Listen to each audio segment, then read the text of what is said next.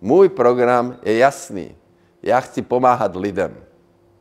Jsem jediný, kdo bude bojovat za české zájmy a pomáhat našim občanům.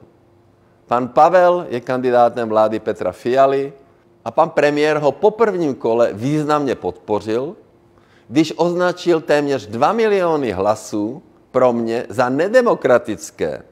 Doslova řekl, že hlas pro Babiše znamená populismus, lži a příklon k Rusku. Neuvěřitelné. Proti demokracii, proti respektu k ústavě a proti prozápadní orientaci. Já budu podporovat druhé hodnoty, proto vyzývám všechny, aby podpořili Petra Pavla. Vy, co jste mě volili, jistě chápete, že pan premiér nemluví pravdu. Stejně tak, jak pan Pavel. Je evidentní, že pan Pavel bude na hradě poslouchat současnou vládu, která se chystá zvyšovat daně, prosadit placení u doktora, omezovat svobodu slova a další asociální věci. Nemůžu se, Pavle, tu nebyl. Čus.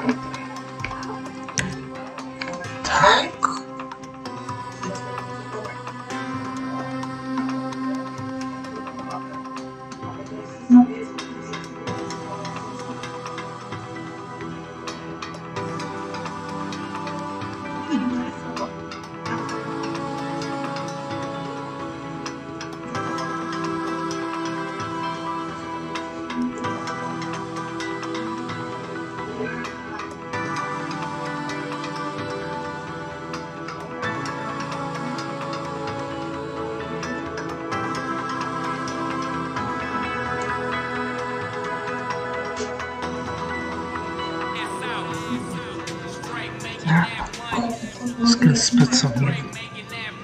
Stream. Video. Ale teď se chvíli nekoukejte. Můj program je jasný. Já chci pomáhat lidem. Jsem jediný, kdo bude bojovat za české zájmy a pomáhat našim občanům.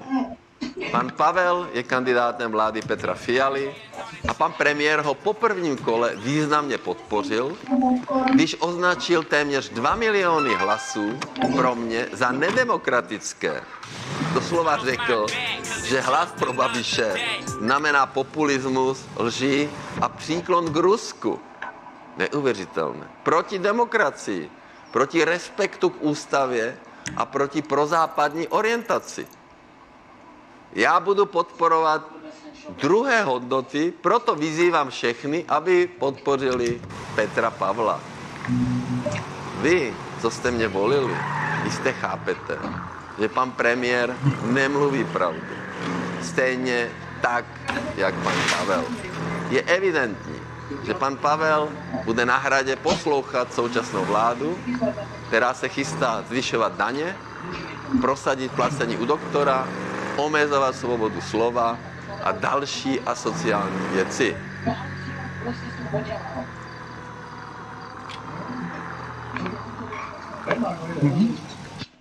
Já jsem vytisková adres. Co jsem udělal? Video. Co jsi stalo něco na škole? Zase jak jsem se po škole, tak vystíháme ten turnaj. No a proč jsi se zdržel? Máme na to teď není Můj program je jasný. Já chci pomáhat lidem. Jsem jediný, kdo bude bojovat za české zájmy a pomáhat našim občanům. Pan Pavel je kandidátem vlády Petra Fialy a pan premiér ho po prvním kole významně podpořil, když označil téměř 2 miliony hlasů pro mě za nedemokratické. Doslova řekl, že hlas pro Babiše znamená populismus, lži a příklon k Rusku. Neuvěřitelné. Proti demokracii, proti respektu k ústavě a proti prozápadní orientaci. Já budu podporovat druhé hodnoty, proto vyzývám všechny, aby podpořili Petra Pavla. Vy, co jste mě volili, jistě chápete, že pan premiér nemluví pravdu. Stejně tak, jak pan Pavel. Je evidentní, že pan Pavel bude na hradě poslouchat současnou vládu, která se chystá zvyšovat daně, prosadit placení u doktora, omezovat svobodu slova a další asociální věci. Hey, pendejo?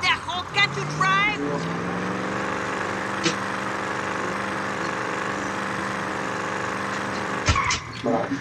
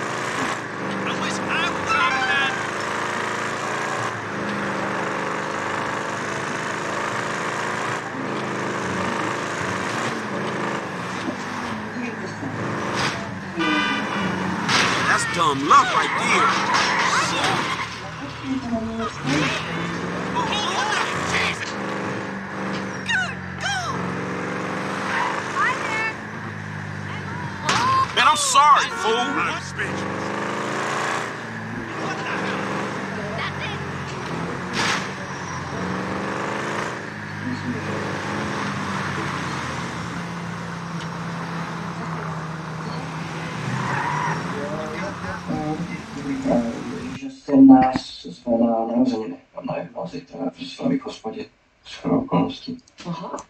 Můj program je jasný. Já chci pomáhat lidem. Jsem jediný, kdo bude bojovat za české zájmy a pomáhat našim občanům. Pan Pavel je kandidátem vlády Petra Fialy a pan premiér ho po prvním kole významně podpořil, když označil téměř 2 miliony hlasů pro mě za nedemokratické. Doslova řekl, že hlas pro Babiše znamená populismus, lži a příklon k Rusku.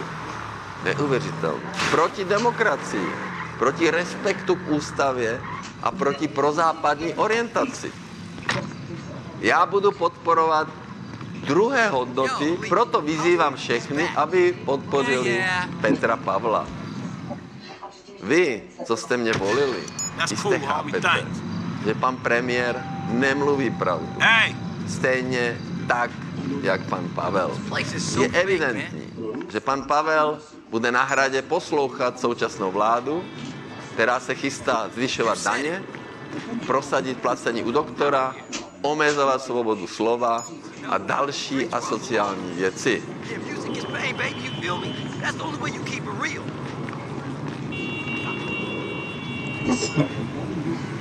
Se vrátíme,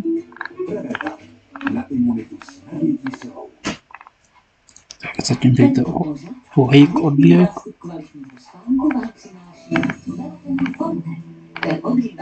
světí Tak, za minutu se vrátíme. Ti byla otrava glykolem. Dává vám to smysl. Smrt v hotelovém pokoji. V noci mezi půlnocí a třetí ráno. Ové. Stejně jako loni, tak i letos je dnešní sváteční den jiný. Stejně jako loni, tak i letos do oslav 28. října zasáhla nemoc. Loni to byla pandemie covidu, letos se k ní ještě přidala nemoc pana prezidenta. V souvislosti s touto zvláštní situací se mi vybavilo přísloví, že zdravý člověk má tisíc přání, ale nemocný jen jedno. A protože každému z nás může nemoc nečekaně převrátit život z hůru nohama, tak si myslím, že bychom měli panu prezidentovi popřát co nejrychlejší uzdravení. Toto je přesně ten moment, kdy bychom měli skrotit naše případné antipatie a kdyby politika měla jít stranou. Zdraví si skutečně váží, bohužel až když o něj přijdeme. Všichni cítíme, že sílící pandemie a situace po volbách atmosféru v naší společnosti ještě víc rozjitřují. Vývoj doma i ve světě tomu také nepomáhá. Zvlášť nyní, kvůli rostoucím cenám energii, situaci v automobilovém průmyslu a výraznému zvyšování cen ve stavebnictví, službách a dalších odvětvích. Novinových titulků se zdá, že se na nás řítí jedna pohroma za druhou. Možná i nás tak trochu zachvátila nemoc. A možná je to nejen nemoc těla, ale i nemoc duše. Proto si myslím, že bychom se měli, a zvlášť tento sváteční den, zastavit a zhodnotit situaci s chladnou hlavou. Ano, ten výhled není zrovna optimistický, ale naše republika a náš národ se dokázal vyrovnat s mnohem horšími obdobími. V minulém století nás nezlomily dvě okupace a dlouhé roky nesvobody. A v tomto století jsme museli čelit různým přírodním katastrofám či politickým krizím. Samozřejmě, že naše neschody bývají někdy vyostřené, konec konců i o tom je demokracie. Ale právě v těch nejtemnějších Hey, you dobách think a lot about that look, těch huh, nejsložitějších situací, kdy bylo opravdu zlé, náš Ah. národ vždycky držel při sobě. So you like try real Vždycky hard, you, home? dokázalo spojit, když jsme cítili, že budoucnost naší země a našich dětí je ohrožena. Je pravda, že v nasledujících letech se budeme muset mnohem více spoléhat sami na sebe, ale jestli jsem o něčem bytostně přesvědčen, tak o tom, že jsme národem neskutečně houževnatý, vynalézavý a srdečný. A proto nemám obavy, že bychom si nedokázali poradit se vším, co přijde.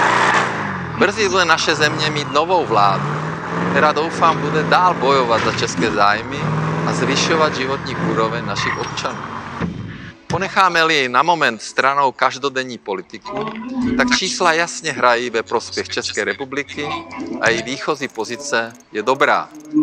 Ať už ekonomicky jako jednoho z nejméně zadlužených států Evropské unie, tak i politicky jako země, která v Evropské unie důrazně hájí národní zájmy, nebojí se použít právo veta a je slyšet.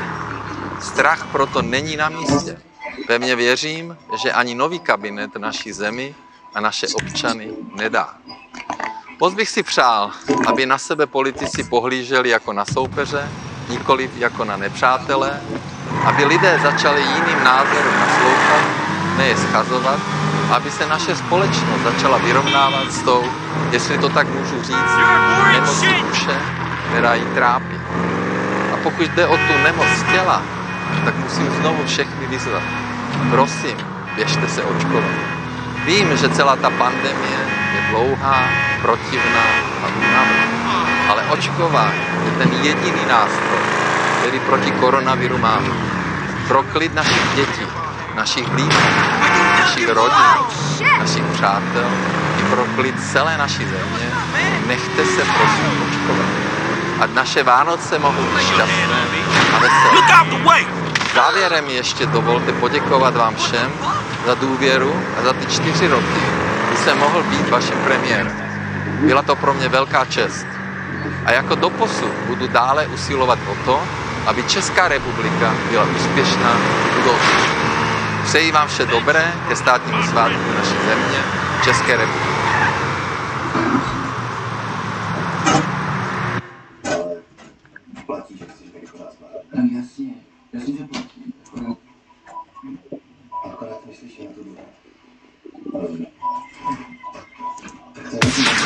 Interview Martina Kováře na Rádiu Z.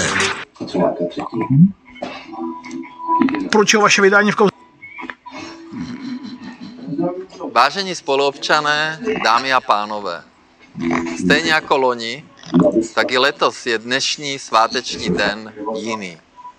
Stejně jako loni, tak i letos do oslav 28. Přijel, že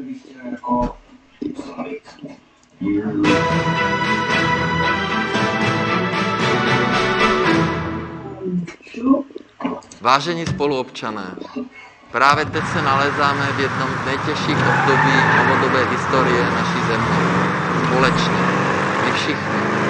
Zítra to budou dva týdny, kdy nové velice náročné, mimořádné situace, v nouzovém stavu. Když se podívám zpět na zásadní okamžiky v historii naší země, tak jsme je vždy překonali odvahou, ohleduplností a vzájemnou pomocí. A to přes veškerou bolest, utrpení a křivdu. Vždy odvahu. Odvaha nás provázela v těžkých dobách a posilovala naše národní sebevědomí, našeho ducha. Odvaha, ohleduplnost a vzájemná pomoc, to je to, co vidím dnes. Dnes každý den a v každém, s kým se v těchto dnech potkává. A za to chci s velkou pokorou poděkovat. Poděkovat vám, všem občanům naší země, České republiky. Občanům v pravém smyslu toho slova. Všem lidem, kteří nám pomáhají tím, že chápou a respektují nutnost našich mimořádných opatření. Jsem na vás všechny opravdu hrdý. Naše země totiž za dobu své existence neprošla podobnou zkouškou. Uvědomuji si, že lidem komplikujeme život. Nikdo z nás nebyl na něco takového připravený, ale vedeme si velice dobře. A čím dřív koronavirus společnými silami zastavíme, tím dřív se všichni zase budeme moci vrátit k normálnímu životu. Rád bych vás proto všechny požádal o trpělivost, o schovývavost. Pandemii tak enormního rozsahu řeší celý svět a my stejně jako vy se na to teprve učíme reagovat. Proto nám prosím vás, odpustte dílčí chyby nebo problémy. Je jich spousta, aby ne. Je to krizová situace, na kterou nebyla připravena jediná země v Evropě. Věřte, že mi teď nejvíc ze všeho záleží na životech a zdraví našich občanů a na budoucnosti naší země. Děláme proto s kolegy a se všemi institucemi státu to nejlepší, co jde. Dovolte mi je teď zmínit. V čele našeho ústředního krizového štábu máme profesora Romana Primulu, experta na epidemie. Vláda na základě vývoje situace přijímá konkrétní opatření proti šíření viru s cílem ochránit zdraví našich občanů a přijímá také ekonomická opatření, která zabrání propouštění lidí a bankrotům živnostníků, podnikatelů a firm. Jsou to stovky a tisíce aktivit, včetně jejich koordinace na mezinárodní úrovni. Já jako premiér země samozřejmě osobně odpovídám za všechna krizová opatření a beru na sebe plnou politickou odpovědnost. Celá naše vláda pracuje non-stop, jak se to jen dá, a současně se abychom to informovali naše občany. Důvěra lidí ve vládu a informovanost veřejnosti jsou klíčové pro zvládnutí této mimořádné situace. Samozřejmě, že ne každý má všechny informace a snaží se je získat.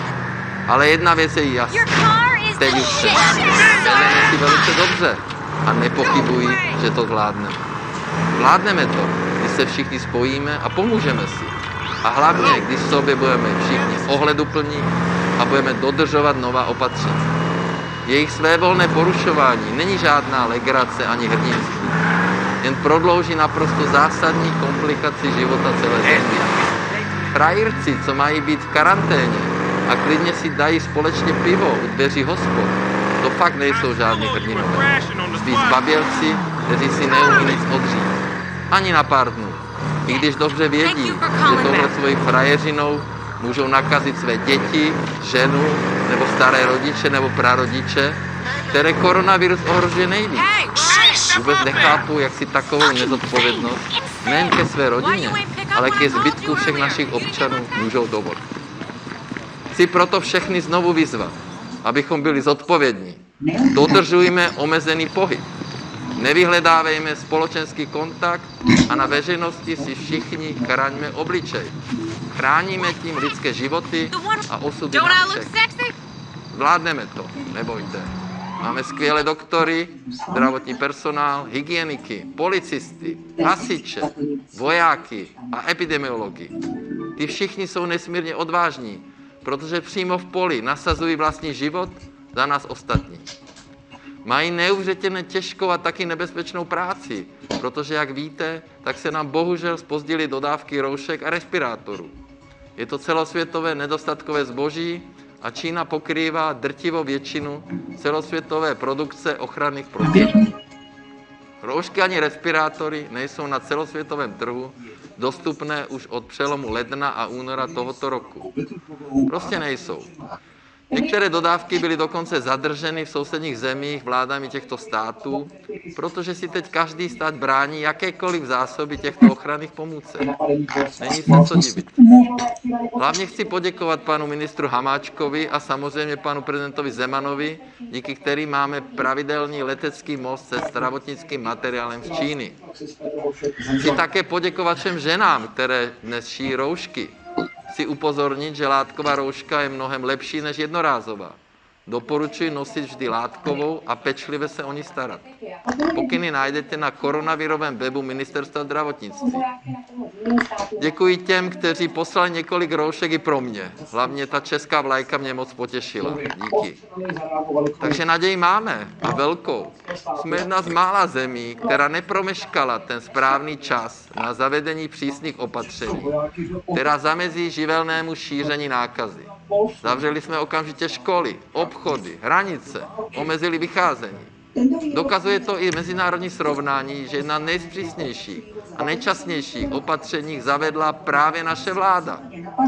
Také bych chtěl znovu vysvětlit, proč jsme i po vyhlášení karantény nechali lidi cestovat do práce a omezili jen mimo pracovní pohyb.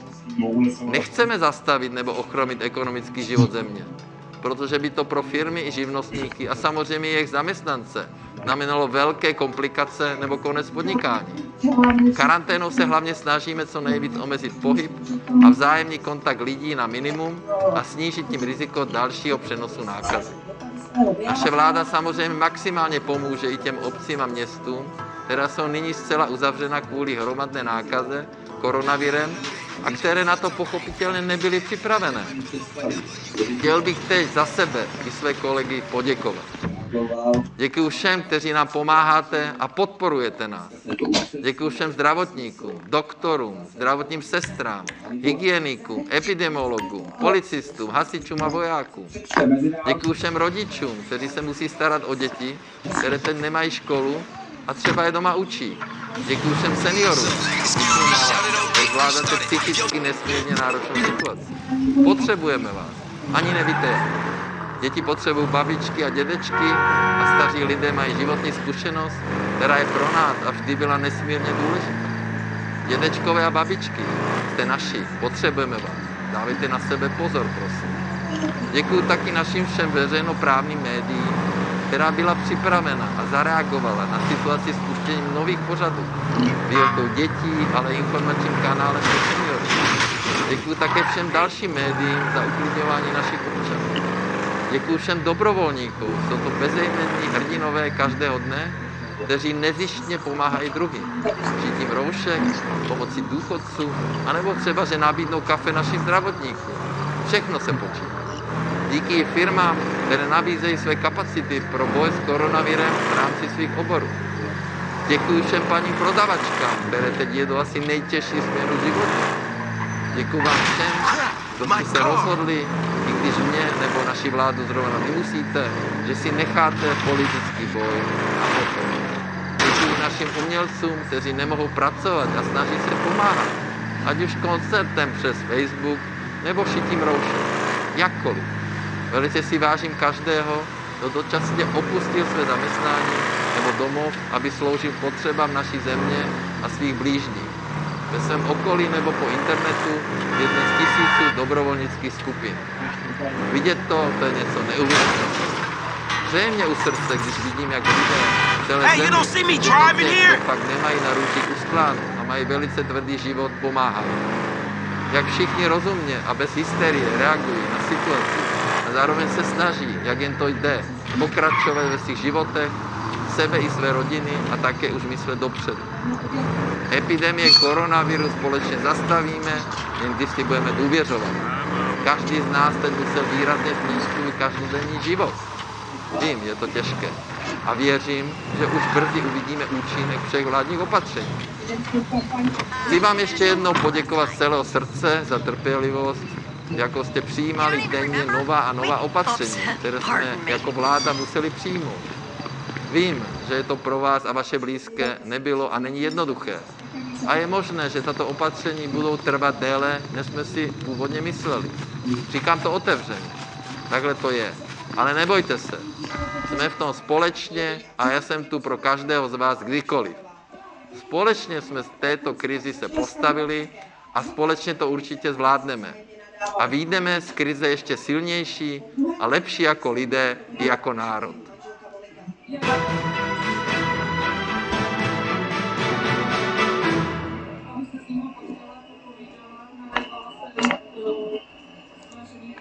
Na Dominikánském náměstí se dnes sešlo na 2000 lidí. Kolem páté hodiny to už bylo více odpůrců než příznivců. Od 20 hodin čeká Andrej Babiš rozhovor v živém vysílání. Můj program je jasný. Já chci pomáhat lidem. Jsem jediný, kdo bude bojovat za české zájmy a pomáhat našim občanům. Pan Pavel je kandidátem vlády Petra Fialy a pan premiér ho po prvním kole významně podpořil, když označil téměř 2 miliony hlasů pro mě za nedemokratické. Doslova řekl, že hlas pro Babiše znamená populismus, lži a příklon k Rusku. Neuvěřitelné. Proti demokracii, proti respektu k ústavě a proti prozápadní orientaci. Já budu podporovat druhé hodnoty, proto vyzývám všechny, aby podpořili Petra Pavla. Vy, co jste mě volili, jistě chápete, že pan premiér nemluví pravdu.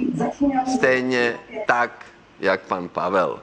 Je evidentní, že pan Pavel bude na hradě poslouchat současnou vládu, která se chystá zvyšovat daně, prosadit placení u doktora, omezovat svobodu slova a další asociální věci.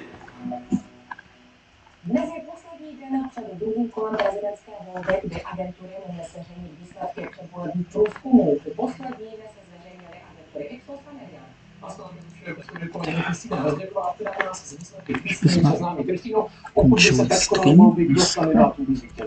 Takový speciální. Pokud by se teď konalo druhé Aha. kolo prezidentské Ještě musím tak si jenom ukavit nějak Ipsos to seka. Je to taková Petr Získal 58,8%. Jeho protikandidát, šéf opozičního hnutí ANO Andrej Babiš, získal stojíme. 41,2%. Co se týče volební účasti, tak ta by podle průzkumu byla 49%. Pro Pavla chce podle agentury hlasovat velká část voličů neúspěšných kandidátů z prvního kola. Hlas by mu dali voliči ekonomky Danuše Nerudové, senátora Pavla Fischera nebo senátora Marka Hilšera. Naopak Andreji Babišovi by hodila svůj hlas velká většina eh, voličů Jaroslava Bašty. A vedení Petra Pavla potvrzuje už průzkum Median, eh, kde ty výsledky jsou velmi podobné. Petr Pavel by získal 57,9% a Andrej Babiš 42,1%. Tady by volební účast byla daleko vyšší, a to 76%. A já ještě doplním,